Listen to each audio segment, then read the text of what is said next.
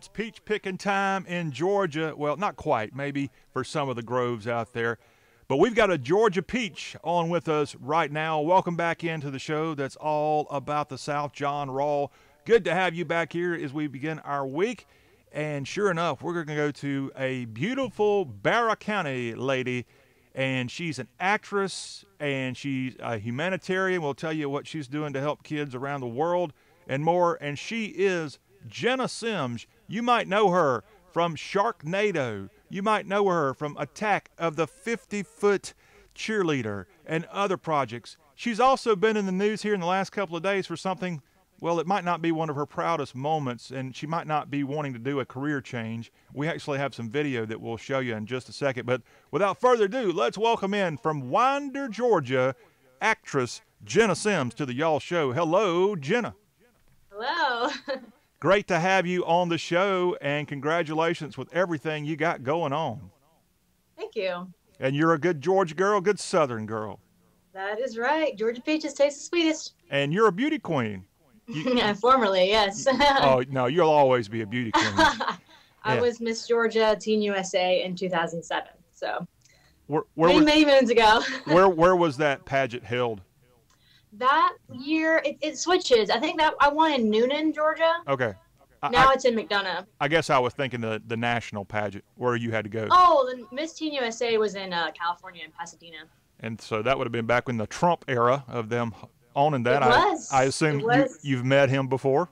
Yes, I have a few times. in fact, you are kind of neighbors these days. Yeah, I've definitely seen him lately, a lot lately. All right, and uh, of course, Georgia and most of the South certainly has been in support of the president through the last couple of years. But we're in support of Jena Sims here on today's Y'all program, and thank you for taking some time to join us. If you've got a question or comment for Jena, we're monitoring our social media feeds right now and would love to get your input there. But let's go back. When did you first kind of realize that maybe you might want to do this entertainment thing one day?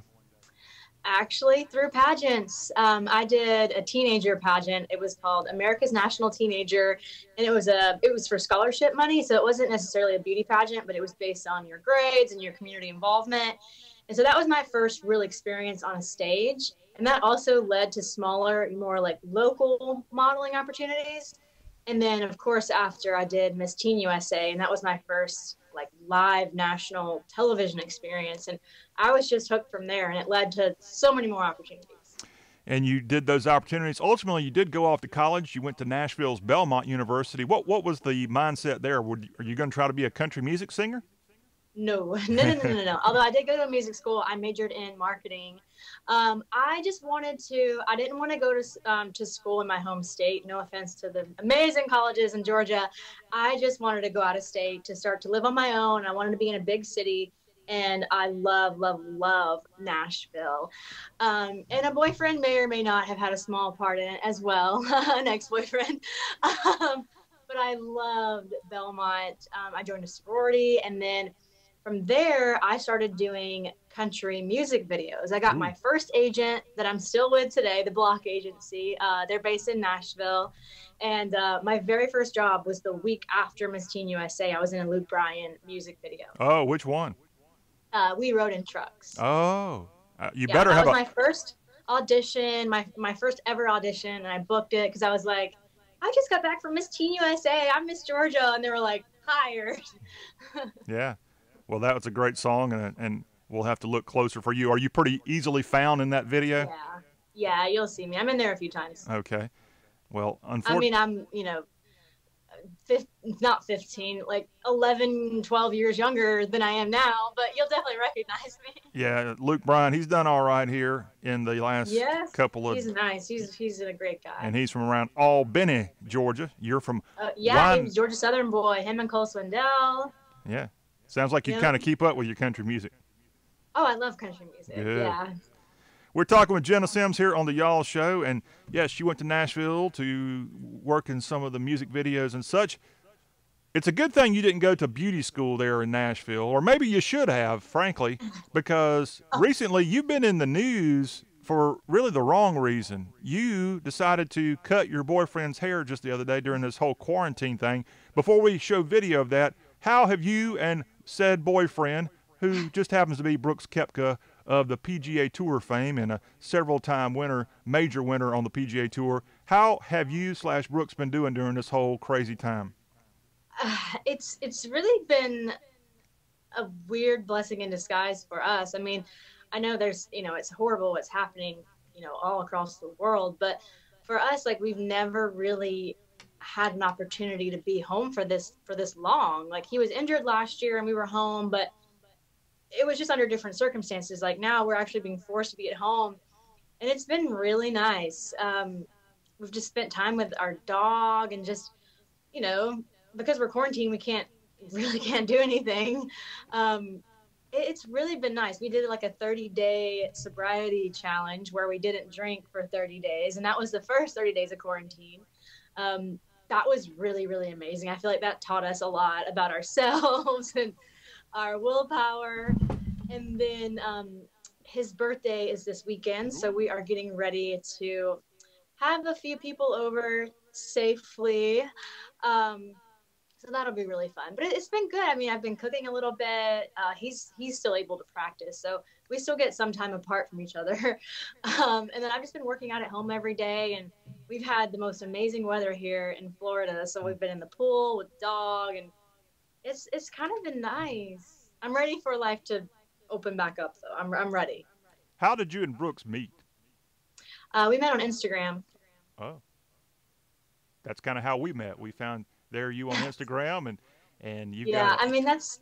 I used to be so embarrassed to say that, but it's so common now. Like so many of my girlfriends have met their guys that way. So it's I mean it's like another dating app, I guess. But he and I met in actually in 2015. So before okay. any of the majors and all of that.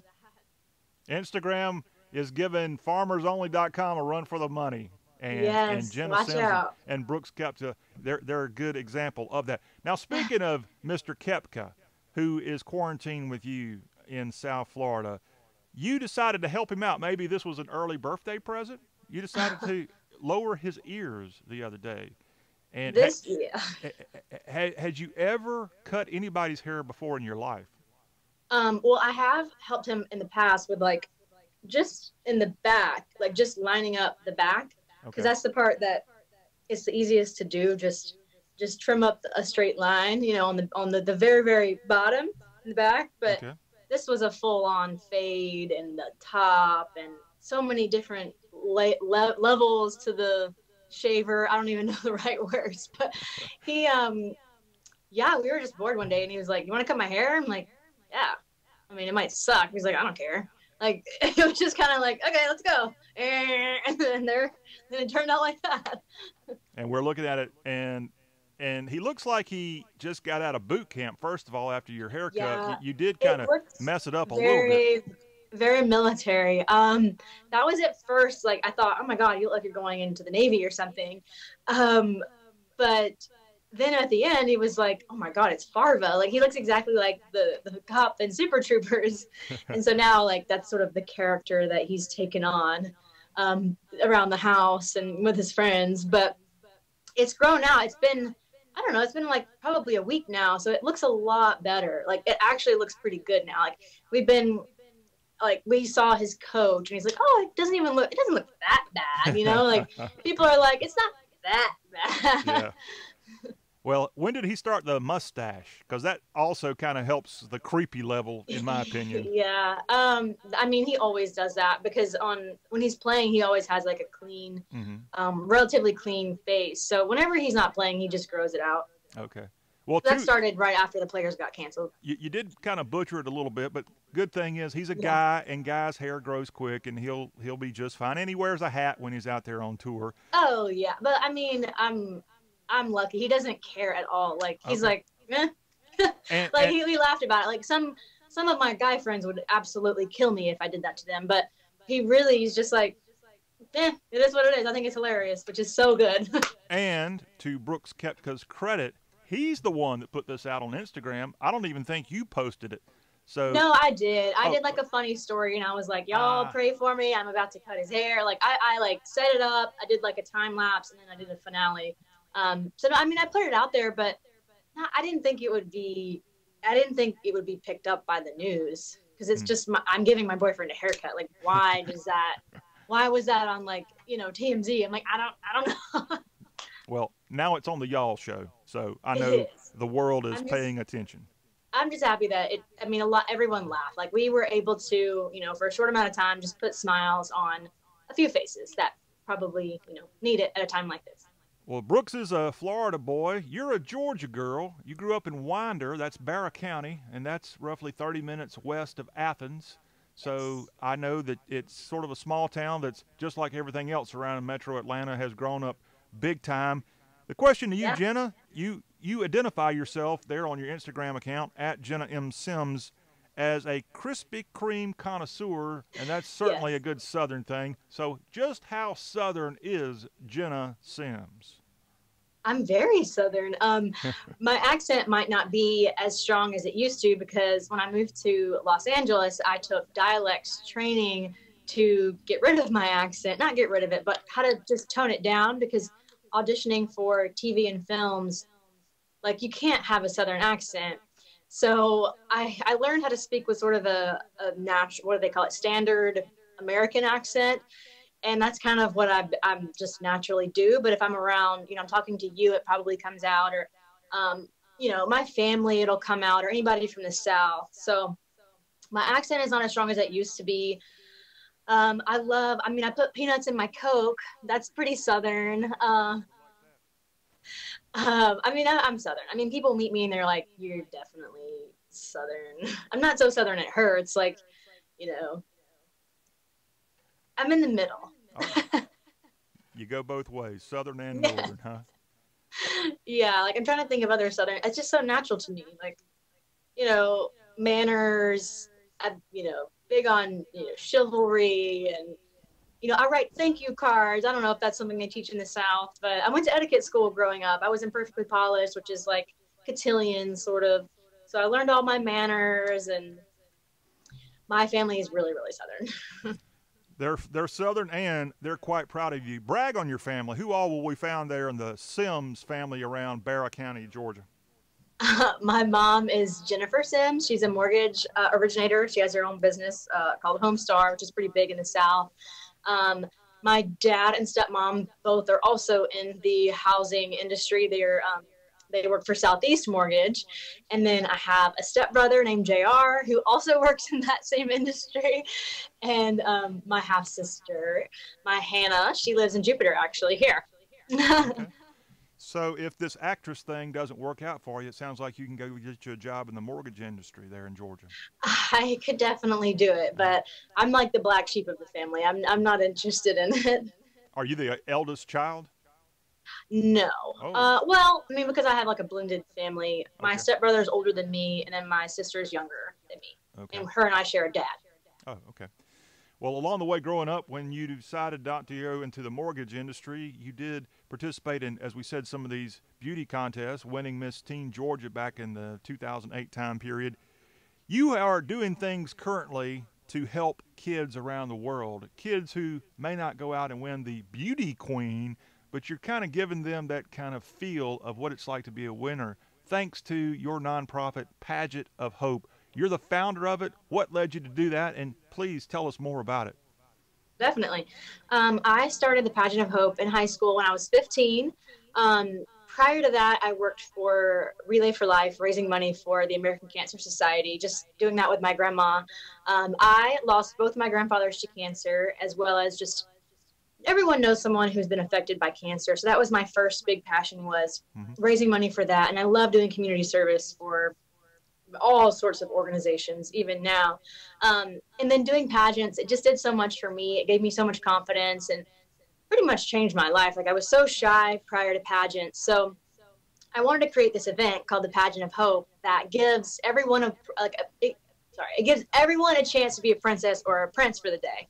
Um, so the pageant is for kids who are facing challenges. It could be cancer, it could be special needs, any kid who wouldn't normally do a pageant. And when they arrive, we do their hair, nails, makeup. We do an entire pageant, and at the end of the day, we crown every single participant. Like everyone gets a unique title, and they get a crown and a sash and a certificate, and it's so much fun. And I've done it literally all over the world. I've been to Cuba, I've been to Africa twice. I've been to Australia, um, and of course, all over the United States as well.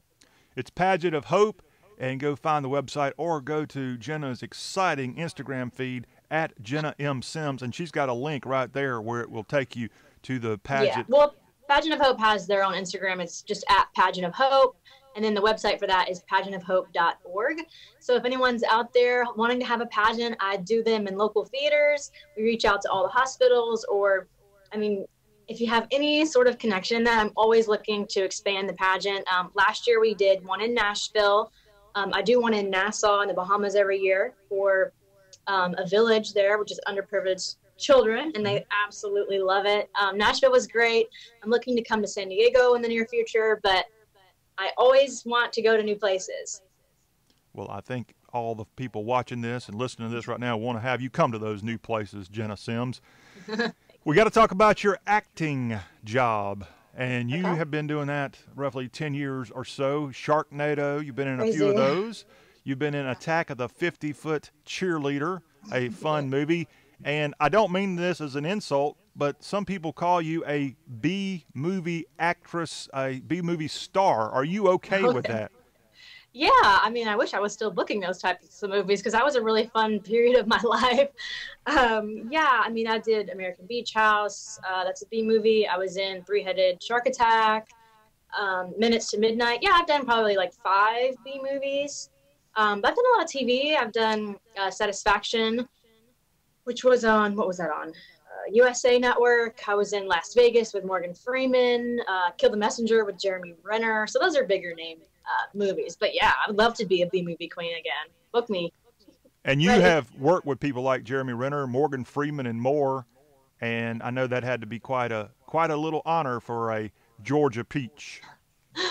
yeah, those movies were both actually filmed in Georgia. Oh, does that did it help you to be a Georgian to get those roles?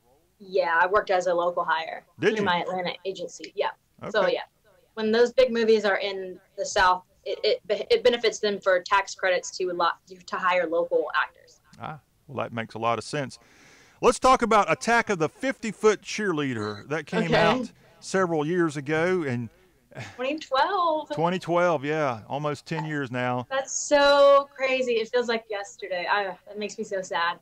That was one of my first that was my first big film role. I, I knew going into the audition. I first actually skipped the very first audition because I, I was uncomfortable with, you know, if, if you audition, you have to like look in the camera and say, I'm willing to do a topless scene. Mm-hmm. And you just have to say it. So when you book it, you can't go back and be like, no, no, no, no. Like you have to like basically say it, sign it. You know, you don't have to take your top off in the audition or anything, but they um, pretty much hold you to it. And so, and that also in terms of the compensation it goes into that. So that was also kind of a draw. Mm-hmm. um, but after i bailed on the first audition i went to my acting class and my teacher and he was like oh my god this is a roger corman film. Like you don't know what you just turned down. I was like i don't even know who roger corman is? And so um, he basically I was able to get like one of the last available auditions. He coached me on it. Like Sandra Bullock got her start with Roger Corman. Like she was in one of like Fire on the Amazon, which is one of his really early uh, films or her early films, not his early. Um, so I I coached the audition. I did it, and then I booked it like in the room. I was one of the very last girls, and he was like, "If you want it, it's yours." And I was like, "Oh my god!" I, to this day, I've never booked an audition in a room like that. So I was just like, you know what? It's not like, it's not like a really it's not a sexual topless scene. It's a silly my top gets ripped off, like it's funny, it's comedic and when I'm 80 years old, I'm gonna look back and watch that with my grandkids and be like, I did that. Like that's me. I'm proud of that. yeah, well, you, you did good. In fact, since you just gave us that declaration that it's okay to take your top off, go ahead. Feel free to do that today if you'd like. Just kidding. Just kidding. good. I'm too old for that now. Are you actively trying to get new movie roles? Yeah, I booked. Um, I worked on a film. Gosh, two last. I mean, I, yes, I'm auditioning regularly. I just did a big national commercial. Um, it's mostly out here. It's it's commercial work. I've okay. done probably 30 commercials since I've moved here. Um, I do a lot of print work still. Um, every now and then I read. There was just a Hallmark, or not Hallmark, Lifetime movie that came through. There's a few Netflix things that I've been reading for. Orlando's actually pretty busy. I read for a lot of things up in Orlando, but I haven't. It's been a while since I booked something um, here. Okay. Well, You- obviously because of the quarantine, but um, yeah, there's definitely I'm definitely actively working on um, my acting career still. You have something forthcoming called Thursday the 12th. What what is yeah, that? that was my last job. That was a, a movie. That's a really funny. It's a B movie. oh, Um, it's um, it's a it's Thursday the twelfth. It's hilarious. It's like a play, obviously on Friday the thirteenth. It's a comedy slash horror film, but it's a, a film about people trying to make a B movie. that's pretty unusual. And I play like the blonde actress in the horror film, but it's a comedy, if that makes sense. I'm no hair expert. Obviously, I don't think you are either, based on what we just saw with Brooks Koepka's haircut. You keep talking about blondes.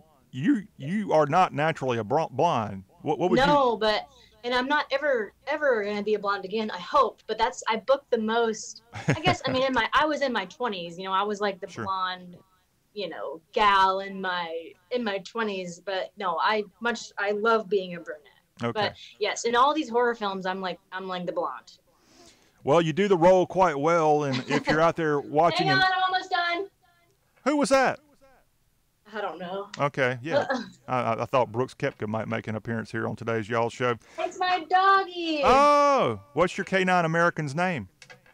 This is Cove. I don't think she's gonna jump up. Cove. Yeah, Okay, not not she's co- not COVID. No, I know, right? Cove, like beach cove. Yeah, that's what I, I thought you meant there. So, how long have you had Cove?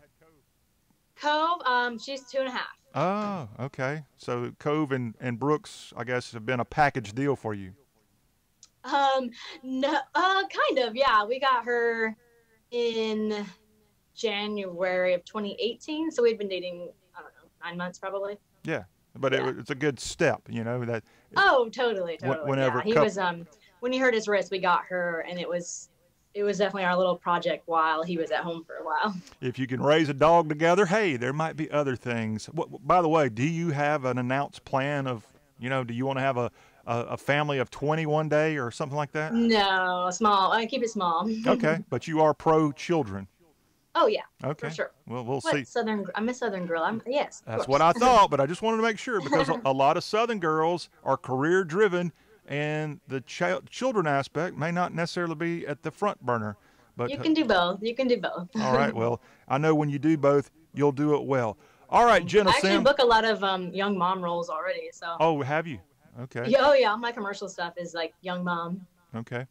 Well, we're glad to know that. And look, you can knock it out. If you've done all these other things actress, barber, and beauty queen, a nonprofit organizer, and more we know you'll do quite well no matter what the challenge is ahead of you. hmm What's some of the favorite, since you're a Southern girl, as we wrap up with you here, what, what's some of the Southern stuff you do around the house to kind of get more connected to those Georgia roots? Um, I don't, I don't know. For an example, what like cooking a meal? Yeah. Yeah, I mean, I can make biscuits. Um, Come on, now, that's not that hard. well, I mean, that's a southern thing. Um, I love sweet tea. Do you have? Are you are you able to find boiled peanuts where you are no, in Jupiter, no, Florida? not here. No, I mean, if you go up north, like in, in North Florida, like South Georgia, definitely. That's pretty here. sad when you got to go north to get boiled peanuts. I know, I know. Yeah, we're too far south for that. but you got that, and then uh, of course Brooks played at Florida State, and you're I'm assuming somewhat of a, a, a SEC fan. Yeah. Is there a rivalry there during football season? No, we don't watch college football. Oh, you don't. Sorry, that's the one southern thing that I do not understand. Like, we don't. Okay. Well, good for you. Yeah. I like the Falcon. I'm a big Falcons. fan. Oh, are you? Rise up, rise Yeah. up. Mm-hmm. Well, thank you again. Hopefully, you got you may not have boiled peanuts where you are, but maybe you've got a Krispy Kreme donut location there in that no, the closest Krispy Kreme and the closest Waffle House are like 45 minutes to an hour. You have got to be kidding me. I know. Krispy Kreme is all the way down in Fort Lauderdale, and then the closest Waffle House is up north, like 45 minutes north of us. That's sad. If I know. We made a tr- we made a special trip one day just to go to Waffle House, and it took you? us like the whole day. I mean, when when Jena Sims goes into a place like a Waffle House, do, do you get noticed? Do people like, hey, that's the Sharknado actress? I mean, I, I definitely have, but not not in a Waffle House. Okay. Hey, Are you okay with your fame? I mean, I my life hasn't changed. I feel like I'm this exact same person. Okay. Um, is yeah.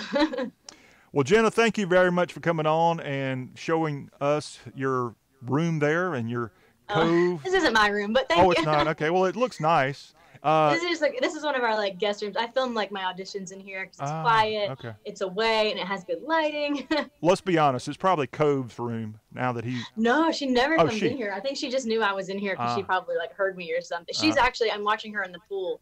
I can see the pool like I'm Oh. on the second floor right now, so I can see down below. She's like jumping in the pool with Brooks right now. So she jumps in the pool and then comes up and sees you. Are you?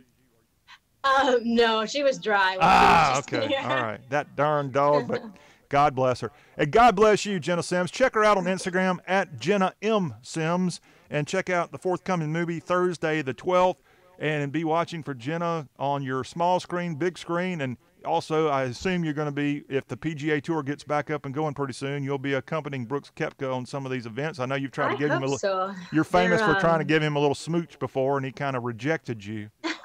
yeah, I hope so. They're talking about um, no family or no, you know, no spectators, no family.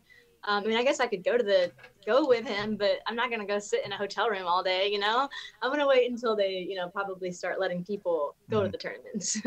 Well, we're looking forward to that day. Everybody's looking forward to that. yeah. Jena, thank you very much for coming on and bless your heart and thank you again for the time Bless today. my heart. Yeah. Thanks. Bless your heart, y'all, and hopefully. That's a bad thing. well, I mean, I'm trying to be nice here. Uh, at least tell me you, you, you said you kind of go both ways on the whole southern Yeah. northern thing. I Uh, definitely said bless your heart after I saw his haircut, but I'm not gonna be like, oh, in general, bless your heart. okay. Well, how much do you say the word y'all since we are the Oh, y'all I mean, show? all the time. Okay. I mean, even when I meet someone new, they're like, y'all. Like, even down here in Florida, I'm like, the heck? Um, but yeah, no, that's, that is in my vernacular. I say y'all regularly. well, we're glad you did that and do that, and we're glad that you came on the y'all show. Jena Sims, thank you, and have a great rest of your day. Y'all too. All right. and that will wrap up that interview with Jena Sims. Check it out at Jena M. Sims on Instagram. And thank y'all for watching. We've got more of the Y'all Show coming at you after this break.